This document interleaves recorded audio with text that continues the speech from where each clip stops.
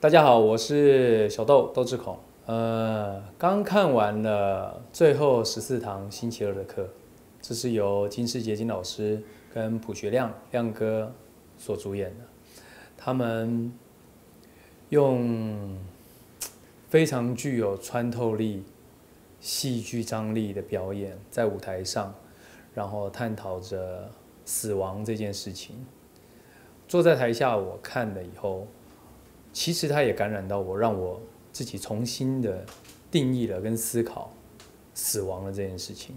我甚至想象了一下，也许我是两天以后、三天以后的死亡，我会做些什么改变？那其实他们在舞台上已经把你会想象到跟你想知道的道理，一字一句的慢慢的告诉你。我觉得，如果你有机会。我真的非常建议你进戏院里面去看最后十四堂星期二的课。